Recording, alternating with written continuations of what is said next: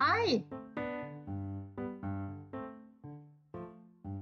I denne sveien skal jeg fortelle deg om bøying av å være og ha, og bøying av regelrette verb. Du kan se på instruksjonsvideoer, lese tekst og høre på tekst. Og gjøre oppgaver. Lykke til!